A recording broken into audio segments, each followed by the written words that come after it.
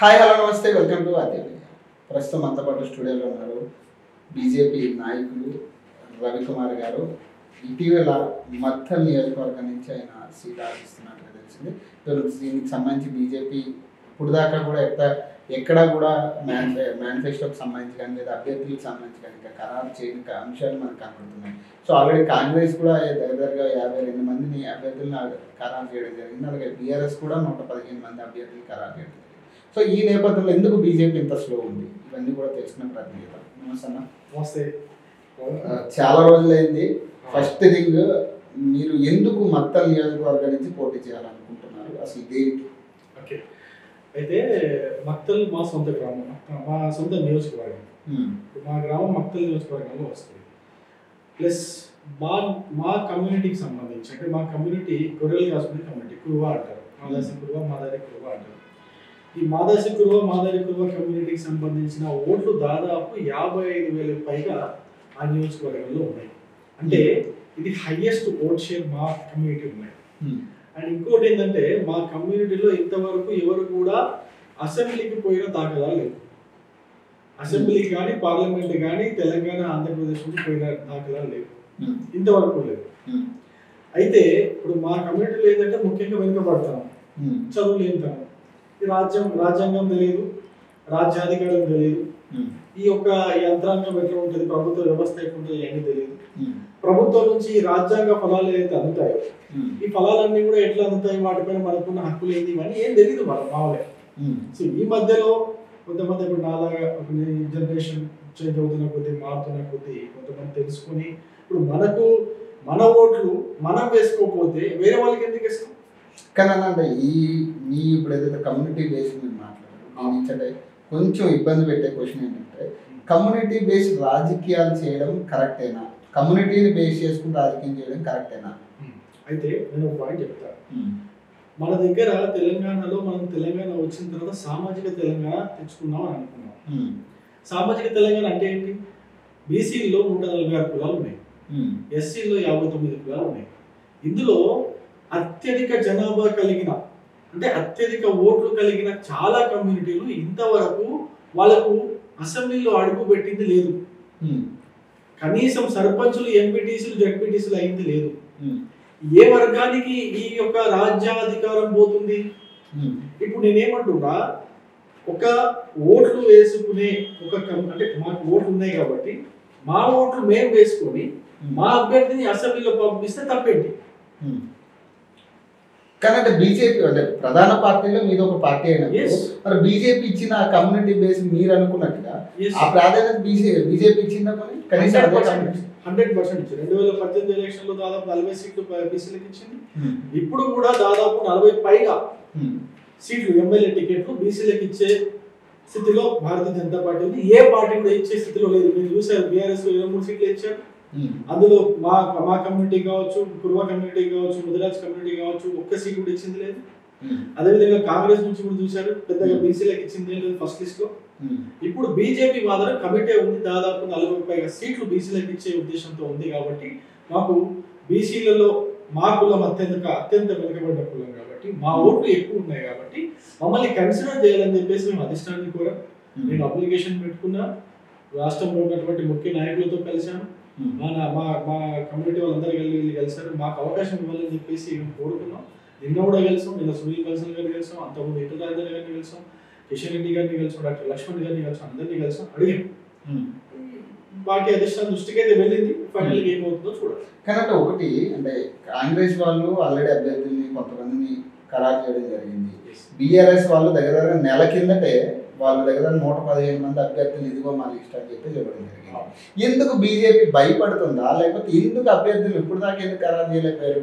నలభై రోజులు ఉంది ఇంకా. అయితే ఏంటంటే బీజేపీ వర్కింగ్ స్టైల్ మిగతా పార్టీతో మనం పోల్చాం ఉమ్, ఇప్పుడు బీఆర్ఎస్ కావచ్చు కాంగ్రెస్ కావచ్చు ఏం చేస్తారంటే వాళ్ళు పైనుంచి వస్తారు.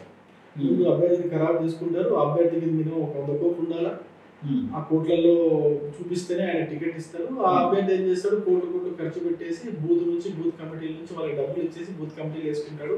అట్లా బంద్ చేసుకుంటూ పోతాడు. అంటే పై నుంచి కిందికి వస్తుంది. ఉమ్, కానీ బీజేపీ పార్టీ సంస్థాగతంగా ముందు పని చేసుకుంటూ పోతుంది. కింది నుంచి పని చేసుకుంటూ పోతుంది. కింది నుంచి బూత్ కమిటీలని పటిష్టం చేసుకుంటున్నాం బూత్ కమిటీలు చేసుకోవడం ఆ బూత్ కమిటీలన్నింటినీ కూడా పటిష్టంగా చేసుకోవడం వాటన్నిటితో కార్యక్రమాలు చేయడం రకరకాలైన కార్యక్రమాలు చేయడం. మన టిఫిన్ బైటెక్స్ అని చెప్పేసి బూత్ కమిటీల ద్వారా టిఫిన్ బైటెక్స్ అని చేసుకోవడం దీనివల్ల ఏమవుతుందంటే ఈ బూత్ కమిటీలు స్ట్రాంగ్ అవ్వడం వల్ల మనకు మండల కమిటీలు స్ట్రాంగ్ అవుతాయి జిల్లా కమిటీలు స్ట్రాంగ్ అవుతాయి. దాని తర్వాత వచ్చే ఎలక్షన్స్లో పార్టీ పటిష్టంగా ఉంటుంది. సంస్థాగతంగా పార్టీ పటిష్టంగా నిజంగా ఉంటుంది పటిష్టంగా ఉందా ఇప్పుడు పార్టీ ఎస్ వాస్తవంగా మాట్లాడుకుంటాం హండ్రెడ్ పర్సెంట్. ఎందుకంటే హుజురాబాద్ కానీ లేదంటే మన మునుగోడు ఎలక్షన్స్ కానీ దాని ముందు ఈటల రాజేంద్ర గారి అదే మన ఈయన దుబ్బాక దుబ్బాక కానీ ఈ మూడు ఎలక్షన్స్లో ఉన్నంత స్పీడ్ కానీ నాకు ఆ జోరు కానీ ఇప్పుడు కనపడట్లేదు బీజేపీలో వాస్తవంగా చూసుకుంటే. నేను నేనేమంటా అంటే మీకు జోర్ అంటే ఏంటి? ఒక ఆరు గ్యారంటీ నేను వదిలేస్తే ఇప్పుడు ఆరు గ్యారంటీ కాంగ్రెస్ వదిలింది. దాన్ని కాపీ కొట్టి బీఆర్ఎస్ ఇంకోటి ఏదో వదిలింది. ఇప్పుడు ఇద్దరిని కాపీ కొట్టి మా బీజేపీ పార్టీ ఒక పదహారు గ్యారెంటీ వదిలితే కానీ మనం రాము. అట్లా అనుకుంటారు? అట్లా కాదు. ఇప్పుడు ఏదైనా కానీ ప్రభుత్వాలకు నడవు అంటే మాటలు కూడా తగ్గినాయి కదా. ఇప్పుడు చాలా మంది అభ్యర్థులు ప్రతి విషయంలో ప్రతి అంశం మీద బయటకు వచ్చి మాట్లాడారు ఇప్పుడు చాలా మంది దగ్గర ఎవరు తగ్గారు? ఇప్పుడు బండి సంజయ్ గారు అంత మాట్లాడట్లేదు. తగ్గారు? ధర్మపూర్ అరవింద్ గారు కూడా నిన్న ఏదో ప్రెస్ మీట్ పెట్టి కవితను తిట్టడం తప్పితే ఆయన వేరే విషయాల మీద రియాక్ట్ అయినట్టుగా కూడా ఎక్కడ కనపడలేదు వాస్తవంగా. ప్రవల్లిక హత్యకి ప్రవల్లిక ఆత్మహత్య కేసు పైన బండి సంజయ్ గారు చాలా ఘాటుగా మాట్లాడారు. చాలా ఘాటుగా స్పందించారు.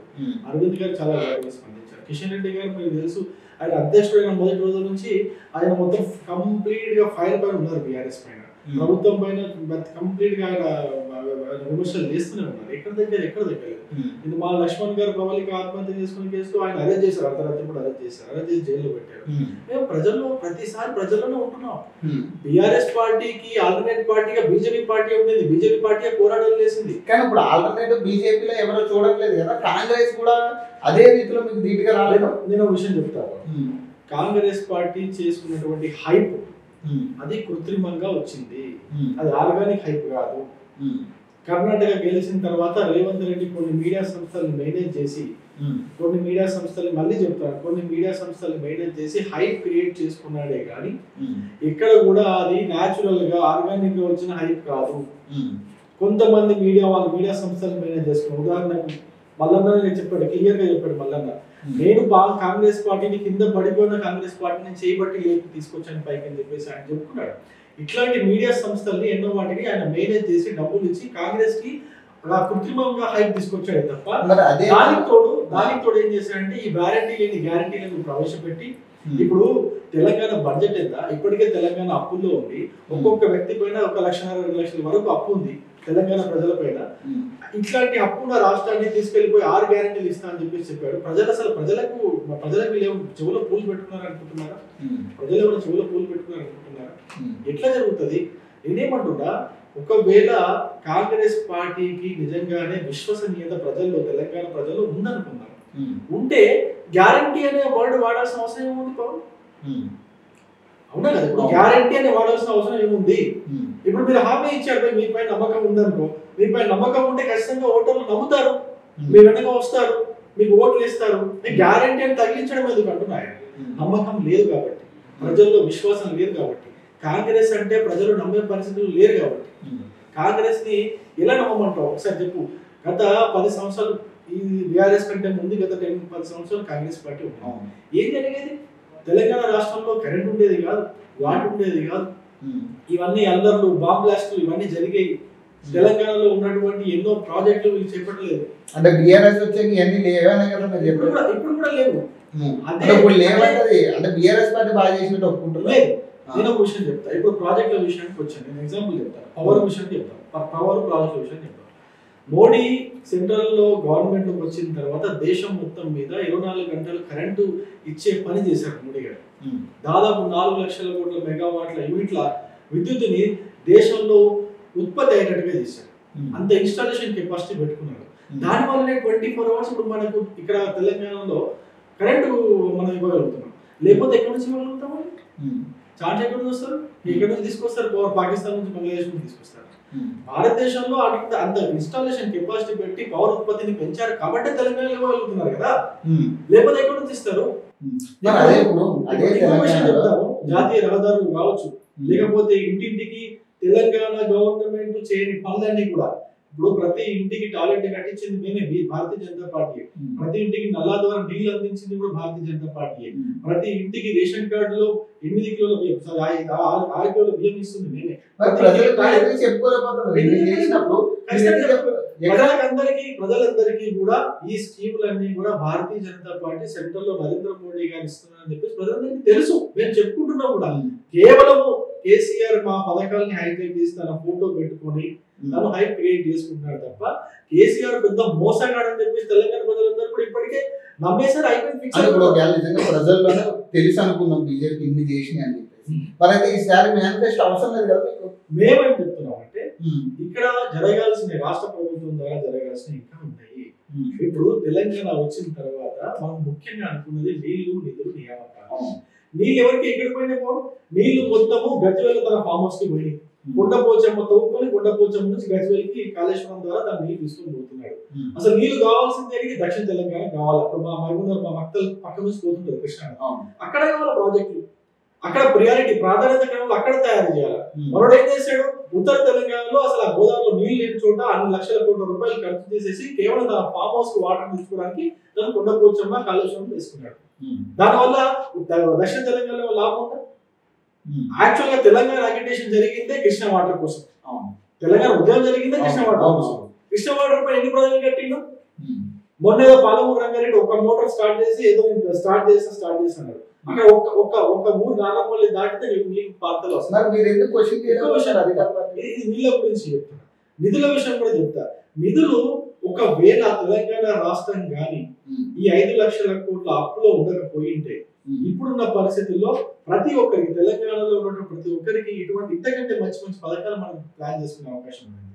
ఎన్ని అప్పులు చేశాడు ఉమ్, ఆఖరికి ప్రభుత్వ ఉద్యోగులకి జీతాలు కూడా కరెక్ట్ టైంకి ఇవ్వలేకపోతున్నారు కదా. ఉమ్, హైదరాబాద్లో విలువైన భూములు అమ్ముకుంటున్నాడు కదా. హైవే ఓవరాల్ లాంటి హైవేస్ని తాకట్టు పెడుతున్నాడు కదా. ముప్పై సంవత్సరాలకి తాకట్టు పెడుతున్నాడు కదా. ప్రజల్ని మభ్య పెడుతున్నాడు మోసం చేస్తున్నాడు అంటే దొబ్బేశాడు. ఎందుకు అధికార పార్టీని? నేను ఇంకో పాయింట్ నీళ్ళు నిధులు. లాస్ట్ వచ్చింది నియామకాలు. తెలంగాణ ఉద్యమం వచ్చిందే నియామకాల కోసం. అరే మేము అప్పుడు ఉద్యమం జరిగేటప్పుడు నేను చెప్పేవాడిని మన పిల్లలు తొమ్మిదో క్లాస్ పదో క్లాస్ చదివిన పిల్లలు చెప్పేవాడిని. అరే మంచి చదువుకోండిరా. మా ఏజ్ అయిపోతే మీకు ఉద్యోగాలు వస్తాయి తెలంగాణ వస్తుంది తెలంగాణ వస్తే మీకు ఉద్యోగాలు వస్తాయి. మీరు బాగా చదువుకోవడం చెప్పి చెప్పేవాళ్ళం. ఇప్పుడున్న పరిస్థితి ఏంటి? ఇప్పుడు వాళ్ళు అడుగుతున్నారు ఏమన్నా గ్రూప్ వన్ లేదు గ్రూప్ టూ లేదు గ్రూప్ త్రీ లేదు గ్రూప్ ఫోర్ లేదు డిఎస్సి లేదు. పోలీస్ రిక్రూట్మెంట్ కూడా మొన్న జరిగిన తర్వాత హైకోర్టు మళ్ళీ నాలుగు మార్కులు మూల్యాంకనం చెల్లించి కానీ రిలీజ్ చేద్దాం చెప్పేసి మళ్ళీ. అది కూడా అయిపోయింది కదా. నియామకాల్లో నియామకాల గురించి బీజేపీ ఒక క్వశ్చన్ అడుగుతున్నా. రెండు కోట్ల ఉద్యోగాలు ఇస్తామని చెప్పి అనౌన్స్ చేసిన బీజేపీ ఇచ్చిందా రెండు కోట్ల ఈ సంవత్సరమే ఈ సంవత్సరమే లక్ష డెబ్బై వేల ఉద్యోగాలు. ఉమ్, లక్ష డెబ్బై వేల ఉద్యోగాలు నియామక పత్రాలతో సహా. తీసుకెళ్ళి మోడీ గారు ఇచ్చారు అభ్యర్థులను పిలిచి ఇచ్చారు రెండు కోట్ల ఉద్యోగాలకి లక్ష నలభై వేల ఉద్యోగాలకి అసలు కొంత విషయం ఎక్కడైనా? ఒక లక్ష నేనేం చెప్తాను? ఒక లక్ష డెబ్బై ఐదు వేల ఉద్యోగాలు కేవలం ఈ సంవత్సరం చెప్తున్నాను ఈ సంవత్సరం ఈ సెంట్రల్ గవర్నమెంట్లో వచ్చింది దాంతో పాటు మనకు కల్పించినటువంటి ప్రైవేట్లో కావచ్చు ఉపాధి కల్పన మోడీ గారు వచ్చిన తర్వాత ఉపాధి కల్పన చాలా బాగా జరిగింది. మనకు మధ్యలో కోవిడ్ దెబ్బతీసింది తప్ప.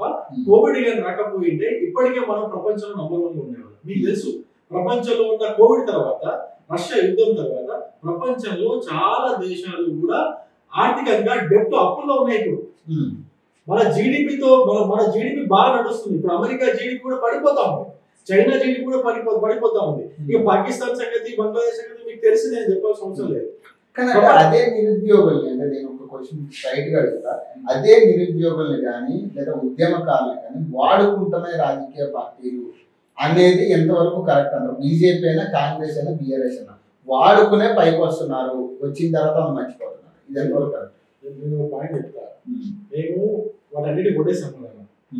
రేపు పొద్దున బీజేపీ అధికారంలోకి వచ్చిన తర్వాత ఆరు నెలలకు ఒకసారి జాబ్ నోటిఫికేషన్లు ఇస్తాము. దానికి సంబంధించిన జాబ్ క్యాలెండర్ ఏర్పాటు చేసుకుంటాము. దాదాపు ఒక లక్ష డెబ్బై ఐదు వేల ఖాళీలు ఉన్నాయని చెప్పేసి మనకు ఒక ఒక సర్వే ద్వారా ఒక కమిషన్ ద్వారా మనకు తెలిసింది. ఈ లక్ష డెబ్బై ఐదు వేల రెండు లక్షలు ఎన్నైతే ఖాళీలు ఉన్నాయో ప్రభుత్వ ఉద్యోగులు అన్నింటినీ కూడా ఫిల్ చేయడానికి జాబ్ క్యాలెండర్ వేసుకొని ప్రతి ఆరు కోసం ఒకసారి నోటిఫికేషన్ వేసుకొని ఆ జాబ్ క్యాలెండర్ని ఖచ్చితంగా ఫాలో చేసి అన్ని ఉద్యోగాలు కూడా భర్తీ చేస్తాము. అది కమిట్ అయిపోతాం భారతీయ జనతా పార్టీ యొక్క కమిట్మెంట్ని ఎవరు క్వశ్చన్ చేయలేరు ఇంతవరకు కూడా. ఎందుకంటే భారతీయ జనతా పార్టీ ఏ రాష్ట్రంలో అయినా మొత్తం దేశం మీద ఏదైతే చెప్పిందో ఏదైతే కమిట్ చేసిందో హండ్రెడ్ పర్సెంట్ డెలివర్ చేసింది. అది కర్ణాటకలో కావచ్చు మహారాష్ట్రలో కావచ్చు మధ్యప్రదేశ్లో కావచ్చు అంతకుముందు రాజస్థాన్లో కావచ్చు గుజరాత్లో కావచ్చు ఎక్కడైనా కావచ్చు. నేనేమంటున్నా ఈ రాష్ట్రంలో ఉన్నటువంటి బీఆర్ఎస్ ప్రభుత్వం గత తొమ్మిదిన్నర సంవత్సరాలుగా ఎందుకు చేయలేకపోతుంది? అది మేము కమిట్ అయ్యాము మేము చేస్తాం. ఇది తెలంగాణ ప్రజలందరూ నమ్ముతున్నారు. బీఆర్ఎస్ నమ్మట్లేదు కాంగ్రెస్ నమ్మట్లేదు. కాంగ్రెస్ ఉద్యోగాలు ఇస్తారంటే నమ్మరు. బీఆర్ఎస్ ఉద్యోగాలు ఇస్తారంటే నమ్మరు. ఉన్న ఆప్షన్ వల్ల భారతీయ జనతా పార్టీ. ఇంకొక విషయం. ఇంకో విషయం. దీంతో పాటు మా ఫోకస్ ఉచిత విద్య ఉచిత వైద్యం పైన ఉంటుంది. ఉచిత విద్య ఉచిత వైద్యం.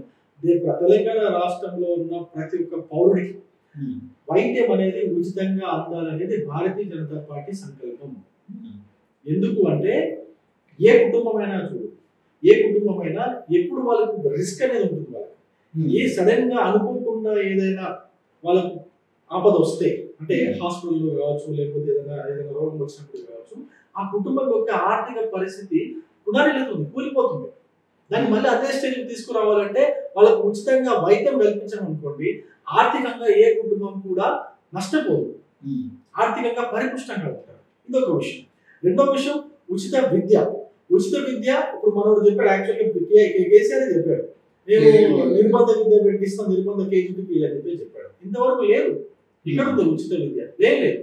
భారతీయ జనతా పార్టీ వచ్చిన తర్వాత తెలంగాణలో ఉన్నటువంటి ప్రతి పౌరునికి నాణ్యమైన విద్య ఉన్నతమైన విద్య వరకు మేము ఉచితంగా ఇస్తామని చెప్పి భారతీయ జనతా పార్టీ కమిటెడ్ కానీ ఒక విషయం అంటే మన మేనిఫెస్టో కూడా చూసే. ఉంటారు క్లియర్గా మహిళలు తర్వాత వృద్ధులు దానికి సంబంధించి కానీ ఏదో బీసీ వర్గాలను ఎక్కువ టార్గెట్ చేసినట్టుగా మేనిఫెస్టో కనపడుతుంది. ఇదే ఇదే మేనిఫెస్టో సేమ్ కాంగ్రెస్ కూడా అదే మేనిఫెస్టో ఇచ్చింది. సేమ్ బీసీలు మహిళలు వృద్ధులు. కానీ ఎక్కడ కూడా యువత గురించి కానీ లేదంటే అసలు ఉద్యోగాలు లేవు. తర్వాత ఏదైతే నిరుద్యోగ వృత్తి అని చెప్పిర్రో ఇట్లాంటి అంశాల మీద ఒక్కళ్ళు మాట్లాడట్లేదు. ఏదైనా అవసరం అయితే ఇట్లా ఏదైనా డిబేట్స్ లోనో లేకపోతే ఏదైనా ఇంటర్వ్యూ చెప్పినా ఇది లేదు అది లేదు అంటారు. అంటే బీజేపీ వాళ్ళు కూడా. మరి ఎందుకు దాన్ని అమలు చేయలేకపోతున్నారు ఇప్పుడు దాకా ఇప్పుడు సెంట్రల్ కూడా మీది గవర్నమెంట్ ఉంది కాబట్టి. సెంట్రల్ గవర్నమెంట్ విషయం కూడా ఒకసారి మోడీ గారి ప్రభుత్వంలో ఇంతవరకు రైల్వేస్ కావచ్చు ఇంకా సెంట్రల్ గవర్నమెంట్కి సంబంధించిన రెండు వందల యాభై నాలుగు సంస్థలు ఉన్నాయి. రెండు వందల యాభై నాలుగు సంస్థలు ఉన్నాయి. కొన్ని దాదాపు డెబ్బై ఐదు సంస్థలు తెలంగాణలో కూడా ఉన్నాయి. ఆఫీసెస్. వీటన్నిటిలో కూడా ఎన్నైతే ఖాళీలు ఉన్నాయో అన్ని ఖాళీ భర్తీ చేస్తారు ఎక్కడ ఆపలేదు. అన్ని ఖాళీ భర్తీ చేస్తారు ఆ భర్తీ చేసిన దాని రిజల్ట్ ఇప్పుడు మన దేశము ప్రపంచంలోనే ఐదవ అతిపెద్ద ఆర్థిక వ్యవస్థగా ఉండడానికి కారణం. లేకపోతే ఇంత భర్తీ చేయకపోతే అవ్వదు. ఒక చంద్రయాన్ మిషన్ సక్సెస్ అవ్వాలి అంటే దాని వెనక ఓన్లీ ఒక మన ఇస్రో పనిచేస్తే సరిపోదు. ఇస్రోకి గవర్నమెంట్కి సంబంధించిన అనేక ఆర్గనైజేషన్స్ పనిచేస్తే గానీ చంద్రయాన్ సక్సెస్ అవ్వలేదు.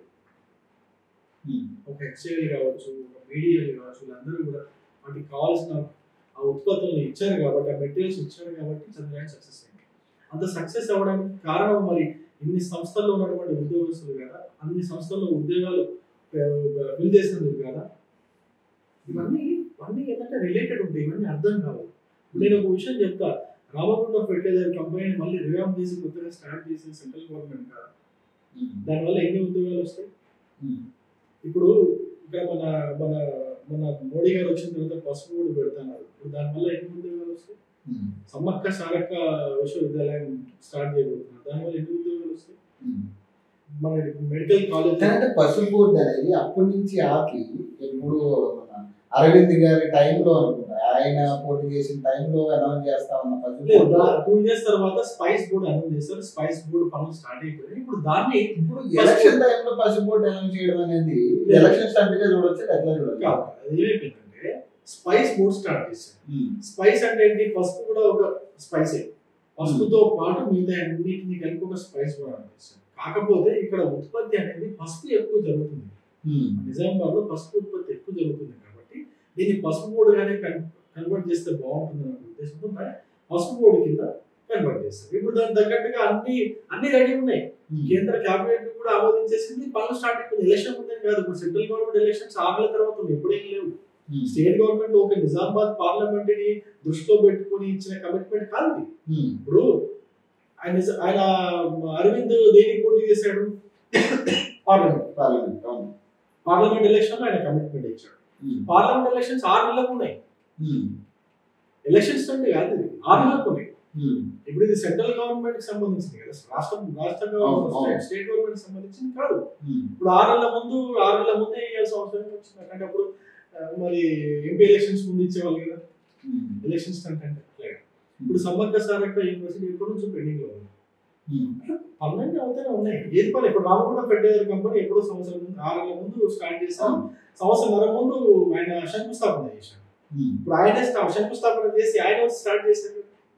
అన్ని మంచిగా జరుగుతున్నాయి సార్ అక్కడ ఇంకోటి ఇటీవల అంటే మీడియా వాళ్ళకి కానీ లేదంటే స్టూడెంట్స్ కానీ చాలా మంది బాధ అయిన విషయం ఏంటంటే ప్రవీణిక ఆత్మహత్య తర్వాత అంటే నాకు తెలిసి ఇప్పుడు ప్రతిపక్ష పార్టీలు కానీ లేకపోతే స్టూడెంట్ అసోసియేషన్లు కానీ అంత ఇన్వాల్వ్ అవ్వకపోయి ఉంటుంటే ఆ ఇష్యూ అమ్మాయి ఏదైతే వాట్సాప్ చాట్ అనో లేకపోతే కేటీఆర్ గారు మాట్లాడిన విషయాలు అంత పర్సనల్గా వెళ్ళకపోతే అంటే పార్టీకి ఇన్వాల్వ్ అవ్వడం వల్లే ఆమె పర్సనల్ ఇష్యూ మీద ఫోకస్ చేసి ఆమెని తక్కువ చేసే టైం ఉంది నేను పార్టీ ఇన్వాల్వ్మెంట్ అంత ఇన్వాల్వ్ అవ్వడం అవసరం అవసరం విషయం చెప్తా డీసీపీ ప్రెస్ మీట్ పెట్టి ప్రబలిక ఆత్మహత్య ఉద్యోగం కోసం కాదు వేరే ఏదో అఫైర్ అవును. అని చెప్పేసి first of all police has crossed their limits um, ఎందుకంటే విచారణ జరుగుతున్నప్పుడు ఉమ్, అట్లా చెప్పకూడదు.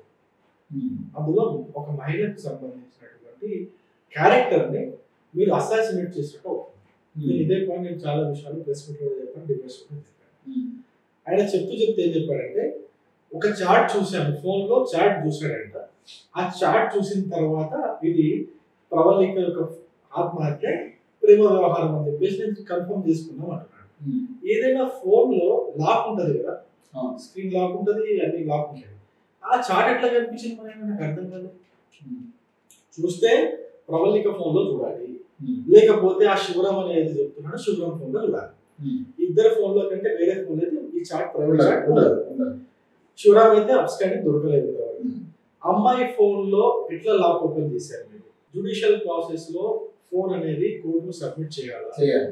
కోర్టుకు సబ్మిట్ చేసిన తర్వాతనే కోర్టు పర్మిషన్ ఇస్తే అవును. ఫోన్ని లాబొరేటరీకో లేకపోతే కన్సర్న్ డిపార్ట్మెంట్కు పంపించి దాంట్లో ఉన్న డాటా మొత్తం రిట్రీవ్ చేయాలి? అంతే కదా. లేకపోతే పాస్వర్డ్ ప్రతి ఫోన్కి పాస్వర్డ్ ఉంటుంది. ఎవరి పర్సనల్ పర్సనల్ ఎవరు టచ్ చేయదు ఎవరు టచ్ చేయకూడదు. పాస్వర్డ్ ఫింగర్ ప్రింట్ లేకపోతే నంబర్ నంబర్ ఈయన ఈయనకి ఎట్లా దొరికింది ఉమ్, ఏ విధంగా ఆయన రూఢి చేసుకున్నాడు? శివరాం గారిని ఆత్మహత్య చేసుకున్నాడు చెప్పేసి. ఒకవేళ ఆమె అట్లనే చేసుకుంది అనుకుంటే మరి ఆమె అశోక్ నగర్ హాస్టల్లో ఉండి ఆ గ్రూప్ టూ కి ఎందుకు అప్లై చేసుకోవాల్సి వచ్చింది? గ్రూప్ త్రీ ఎగ్జామ్స్ కూడా గ్రూప్ ఫోర్ ఎగ్జామ్స్ ఎందుకు ప్రిపేర్ అవ్వాల్సి వచ్చింది? ఇవన్నీ ఎందుకు చేసుకోవాల్సి వచ్చింది? ఉమ్, రెండు కోణాలు ఉన్నాయని చెప్పింటే బాగుండేది. అవును.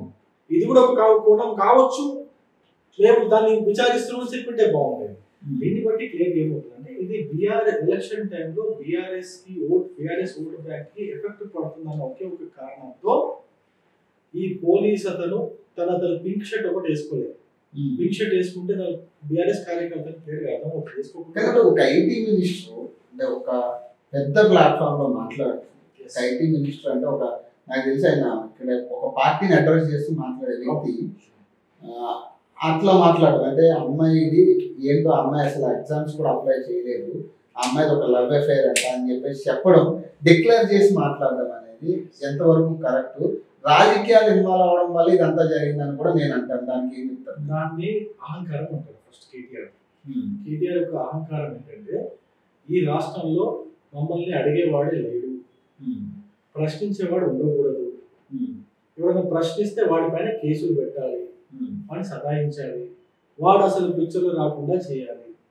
ఈ అహంకారంతో పనిచేస్తున్నటువంటి ఈ యొక్క బీఆర్ఎస్ ప్రభుత్వం ఉన్నందుకు ఈ అహంకారంతో కళ్ళు మూసుకుంటూ ఈ విధంగా ప్రవర్తిస్తారు ఉమ్. లేకపోతే అంత పెద్ద మీడియాతో మాట్లాడుతున్నప్పుడు కనీసం చెక్ చేసుకోవాలన్న జ్ఞానం కూడా ఇంకిత జ్ఞానం కూడా లేని వ్యక్తి మన రాష్ట్రానికి ఒక మంత్రి అయినందుకు నేను బాధపడుతున్నాను. ఉమ్, తను కూడా అంటే ఒక పోలీసుడు తప్పు చేశాడంటే ఏమనుకోవచ్చు బాధ్యత గల ఒక ముఖ్యమంత్రి తనయుడు మంత్రి తను కూడా ఒక అమ్మాయి యొక్క క్యారెక్టర్ని అసాసినేట్ చేసే పనిలో పడ్డాడంటే అతని అహంకారము తలకెక్కింది. తన కళ్ళు వెనక అయిపోయినాయి అనేది క్లియర్గా అర్థమవుతుంది. నేను ఇంకో కోణం అడుగుతానండి. ఇదే విషయంలో అమ్మాయి విషయంలో. అమ్మాయి మీరే అంటున్నారు కదా అమ్మాయి ఫ్యామిలీ ఎఫెక్ట్ అవుతుంది దీనివల్ల అని చెప్పేసి అమ్మాయి క్యారెక్టర్ మెసేజ్ చేశారు. నిజంగా రాజకీయ పార్టీలు కనుక బీజేపీ కానీ కాంగ్రెస్ కానీ ఇన్వాల్వ్ అవ్వకుండా ఉండుంటే అమ్మాయి క్యారెక్టర్ అసోసియేషన్ కానీ ఏదో ఇలా పబ్లిక్లోకి వచ్చి మాట్లాడటమే కానీ ఉండకపోదేమో అనేది మే- ఉద్దేశం. తప్పు. రాజకీయ పార్టీలు ఇన్వాల్వ్ అయ్యారనేది తప్పు. రాజకీయ పార్టీలు అక్కడ ఇన్వాల్వ్ కావాలి అక్కడ ఉన్నటువంటి చుట్టుపక్కల ఉన్నటువంటి హాస్టల్లో ఎవరైతే ఉండి ఈ ఉద్యోగాల కోసం వెయిట్ చేస్తున్నటువంటి విద్యార్థులు నిరుద్యోగులు అందరూ కలిసి ఆ రోజు అక్కడ ధర్నా చేశారు. అంతేగాని రాజకీయ పార్టీ ఏ రాజకీయ పార్టీ పిలుపునివ్వలేదు. బీజేపీ పార్టీ కూడా పిలుపునివ్వలేదు. ఇప్పుడు ఆయన మా డాక్టర్ లక్ష్మణ్ గారు ఆయన నియోజకవర్గం. ఆయన ఉండే నియోజకవర్గం. అక్కడికి వస్తుంది కాబట్టి ఆయనకి ఇన్ఫర్మేషన్ తెలిసిన తర్వాత ఒక విద్యార్థి ఒక నిరుద్యోగి ఆత్మహత్య చేసుకున్న తెలిసిన తర్వాత ఇట్లా నిరుద్యోగులు అందరూ కూడా ఇట్లా ధర్నా చేస్తున్నారని తెలిసిన తర్వాత ఆయన వచ్చాడు. అది ఆయన ఏం పిలుపునివ్వలేదే? బీజేపీ పార్టీని పిలుపునివ్వలేదు? రాజకీయాలు ఇన్వాల్వ్ చేయలేదు అక్కడ. అక్కడ ఏం చేశారు? ప్రజల్లో అంటే నిరుద్యోగుల్లో వాళ్ళందరూ వాళ్ళే తీసుకొచ్చినటువంటి ఆ ఉద్యమం అది. ఒక రకమైన ఉద్యమం అది వచ్చింది అది. అది కనిపించట్లేదు. కానీ మేము ఒకవేళ రాజకీయ పార్టీలు ఇన్వాల్వ్ అయినా రాజకీయ పార్టీలు ఇన్వాల్వ్ అవ్వకపోయినా నిరుద్యోగుల మనసులో మాత్రం ఒకటి ఖచ్చితంగా ఉంది. ఈ రాష్ట్రంలో నుంచి బీఆర్ఎస్ ప్రభుత్వాన్ని కల్వకుంట్ల ఫ్యామిలీని తరిమేయాలని చెప్పేసి నిరుద్యోగుల్లో నిగూఢంగా వాళ్ళ మనసులో హండ్రెడ్ పర్సెంట్ ఉంది. ఈ రోజు కాకపోతే రేపు వచ్చే ఎలక్షన్లో హండ్రెడ్ పర్సెంట్ కల్వకుంట్ల ఫ్యామిలీ రాష్ట్రం నుంచి తరిమి కొడతారు చూడండి హండ్రెడ్ పర్సెంట్ కానీ ఇంకోటి ఇప్పుడు ఇక్కడ హైదరాబాద్ అనేసరికి మైనారిటీ ఓట్లు అనేది చాలా కీలకంగా చూస్తారు కానీ బీజేపీ అనేసరికి మత కల్లోల మత కల్లోల పార్టీ అని లేకపోతే హిందుత్వ పార్టీ అని సెపరేట్ చేసి మాట్లాడే అంశాలు. ఇప్పుడు ఆ మైనారిటీ ఓట్లు కానీ ముస్లిం ఓట్లు కానీ మీకు వచ్చే ఛాన్స్ ఉంటుంది? అసలు బీజేపీకి వాళ్ళు ఓట్లు వేస్తారంటే ఏం చెప్తారు? బీజేపీకి మైనారిటీ అంటే ఎవరు? ఒక్కసారి నాకు చెప్తావా? కొంచెం మైనారిటీ అంటే ఎవరు? మైనారిటీ అంటే నువ్వు ముస్లిమ్స్ ఒకటే చెప్తావు ముస్లిం మైనారిటీ మైనారిటీ అంటే ముస్లిమ్స్ ఒకటే కదా. సిక్కులు ఉన్నారు జైనులు ఉన్నారు బౌద్ధులు ఉన్నారు పార్సీలు ఉన్నారు ఇట్లా వీళ్ళందరూ మైనారిటీలే ఇప్పుడు చెప్పండి ఏదో ఒక మైనారిటీ ఒక మైనారిటీ మాకు ఓట్లు వేయకపోతే మిగతా మైనారిటీలు మాకు ఓట్లు వేయరా ఇది దాన్ని దాన్ని ఏమంటారంటే ఇప్పుడు ఇది సెక్యులర్ కంట్రీ కదా. సెక్యులర్ కంట్రీలో ఒక మతాన్ని కానీ ఒక కులాన్ని కానీ వెనకేసుకుని రావచ్చా? ఒక కులాన్ని కానీ లేకపోతే ఒక మతాన్ని కానీ సంతుష్టీకరణ చేసే పనులు చేయొచ్చా? మైనార్టీలు అంటే కేవలం ముస్లిమ్స్ గారా క్రిస్టియన్స్ గారా సిక్కులు గారా జైనులు గారా బౌద్ధులు గారా వీళ్ళంతా మైనార్టీలు కానీ ఎందుకు బీజేపీకి హిందుత్వ పార్టీ అని ముద్ర పడింది? ఎందుకు? మేము ఎందుకు మేము ఇప్పుడు హిందుత్వ పార్టీ అన్నాం అనుకో. Example Hindutva party. సిక్కులు హిందువులు కాదే? మాకు ఓట్లు వేస్తారు బౌద్ధులు హిందువులు కాదే? మాకు ఓట్లు వేస్తారు జైనులు హిందువులు కాదే? మాకు ఓట్లు వేస్తారు హిందువుల పార్టీని ఎట్లా చెప్తారు మీరు? ఇప్పుడు వీళ్ళంతా మైనారిటీ లేదు. వీళ్ళంతా మైనారిటీ కమ్యూనిటీ కదా. వీళ్ళంతా మాకు ఓట్లు వేస్తారు ఒక ముస్లిం అనే ఒక కమ్యూనిటీ మాకు ఓట్లు లేదని చెప్పేసి మీరు అంటున్నారు సరే దాంట్లో కొంచెం పర్సంటేజ్ వరకు వేయకపోవచ్చు. కానీ కొంతమంది వేస్తారు. మాకు ఓట్లు వేస్తారు. హైదరాబాద్లో ఎంఐఎం అనేది నిజంగా అంటే కేసీఆర్ మీరే అంటారు అనమాట ఎంఐఎం కేసీఆర్ ఒకటే. ఇద్దరు దేశాలు బీజేపీ నాయకులు చాలా చోట్ల మాట్లాడారు. మరి అట్లాంటి ఎంఐఎం కూడా ముస్లిం పార్టీ. అవును. మరి అట్లాంటి ఎంఐఎం పార్టీకి సంబంధించిన ముస్లిం ఓట్లు మీకు పడతాయా? నియోజకవర్గంలో? మతతత్వాన్ని మేము ప్రోత్సహించాం కదా. బీజేపీ పార్టీ అనేది మతతత్వాన్ని ప్రోత్సహించదు. ఉమ్, ఎట్టి పరిస్థితుల్లో దేశం ఫస్ట్ అంటుంది పార్టీ నెక్స్ట్ అంటుంది సెల్ఫ్ లాస్ట్ అంటుంది. ఇలా అనే పార్టీ ఒకే ఒకటి భారతీయ జనతా పార్టీ. అందులో ఎక్కడ కూడా మతం కూడా తీసుకుని మీరు అంటున్నారు హిందుత్వం హిందుత్వం అంటున్నారు. నేను ఉమ్, నేషన్ ఫస్ట్ అంటున్నాను um, party next um, self last um. ఇదే ఇదే ఇదే సిద్ధాంతంతో భారతీయ జనతా పార్టీ ముందుకెళ్తుంది ఎప్పుడు కూడా ఎక్కడ కూడా ఒక అనో కులమనో పట్టుకొని పోదు. మేము కావాలంటే మేము కూడా చేయొచ్చు. ఇప్పుడు మేము కావాలంటే ఇప్పుడు మేము హిందువులకి మేము ఫ్రీ జెరూసలం యాత్ర లాగా లేకపోతే ఫ్రీ మక్క యాత్ర లాగా మేము కూడా హిందువులకి అక్కడ పెట్టుకోవచ్చు. మా ఊళ్ళు కావాలంటే. అంటే పెట్టట్లేదు. మేము ఇప్పుడు గ్యాస్ సెంటర్ పైన సబ్సిడీ ఇస్తున్నాము. అది ఓన్లీ హిందువులకే ఇస్తున్నామా? ఉమ్. లేదా అందరికి ఇస్తున్నామా? సబ్సిడీ ఉందా ఇప్పుడు గ్యాస్? ఇప్పుడు రెండు వందల రూపాయలు మన సబ్సిడీ ఇచ్చారు కదా మోడీ గారు.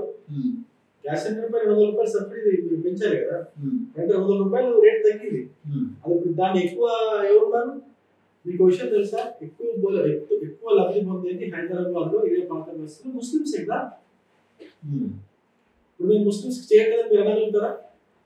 ఎట్లా అనగలుగుతారా?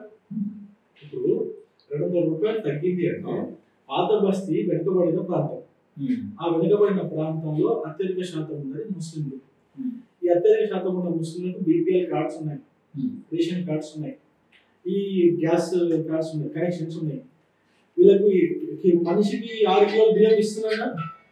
ఈ మనిషికి ఆరు కిలోల బియ్యం మరి అక్కడ పోవట్లేదా? ముస్లింలకు పోవట్లేదా? అంటే ఇప్పుడు బీజేపీ ముస్లింలకు చేయడానికి ఎట్లా చెప్పగలుగుతారు రెండు వందల రూపాయలు గ్యాస్ సబ్సిడీ ముస్లింలకు తెలియట్లేదా పాత బస్సు. మరి ఎట్లా చెప్పగలుగుతారు. అంటే మతతత్వ పార్టీ అనే ముందు ఇవన్నీ ఆలోచించాలి. భారతీయ జనతా పార్టీ మతతత్వ పార్టీ కాదు మీకు ఇంకో విషయం చెప్తా ఎస్ ఎంఐఎం మతతత్వ పార్టీ. ఎంఐఎం మతతత్వ పార్టీ ఎందుకు ఎందుకు అంటే ఎంఐఎంకి ఎప్పుడు కూడా హిందువులు అన్న హిందుత్వం అన్న పడదు నచ్చదు. ఇద్దరు అన్నదమ్ములు మాట్లాడిన ఎన్నో ప్రసంగాలు మీరు వినే ఉంటారు. చాలా సార్లు వాళ్ళు మాట్లాడారు మన హిందూ దేవి దేవతల్ని.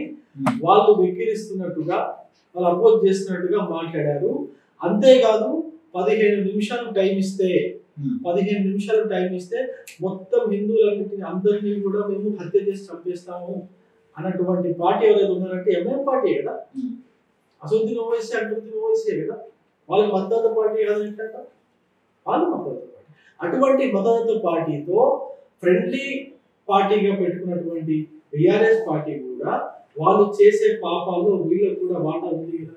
ఉమ్. అంటే బిఆర్ఎస్ పార్టీ కూడా మద్దతు పార్టీ ఇప్పుడు కాంగ్రెస్ వాళ్ళు ఒకటే మాట్లాడారు బీజేపీ బీఆర్ఎస్ ఒకటే అని చెప్పేసి బీజేపీ బీఆర్ఎస్ ఎంఐఎం. ఈ మూడు పార్టీలు ఒకటే పార్టీ అని చెప్పడం జరుగుతుంది. కాంగ్రెస్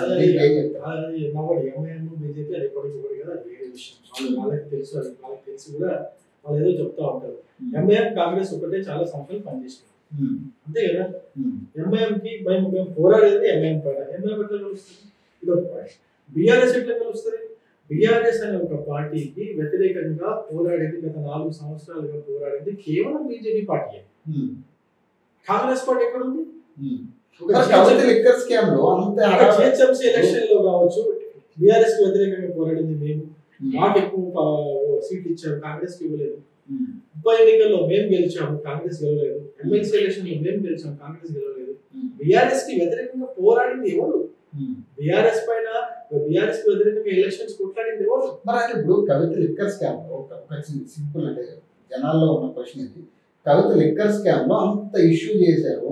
ఫోన్లు ఇగో లిస్ట్ ఇగో ఇంతమంది ఇన్ని ఫోన్లు పగలగొట్టారు ఇంతమంది ఇన్వాల్వ్ అయ్యారని పేరుతో సహా బయటకు చెప్పిన మీరు మీరు కూడా మాట్లాడిన తర్వాత ఈడీలు అయి కామన్ మరి అరెస్ట్ అయిపోతుంది అంటే ఎందుకు అరెస్ట్ చేయలేదు నేను చాలా సింపుల్గా చెప్పేస్తా కవిత కేసు అనేది చాలా కాంప్లెక్స్ కేసు ఉమ్. ఒకరు ఇన్వాల్వ్ అయ్యారు దాంట్లో ఉమ్. ఇప్పుడు ఒక ఒకరు మర్డర్ జరిగింది మర్డర్ జరిగింది ఒకరు ఇద్దరు ఇన్వాల్వ్ అయ్యారు దాన్ని ఈజీగా తెలిసి పడేయచ్చు ఉమ్.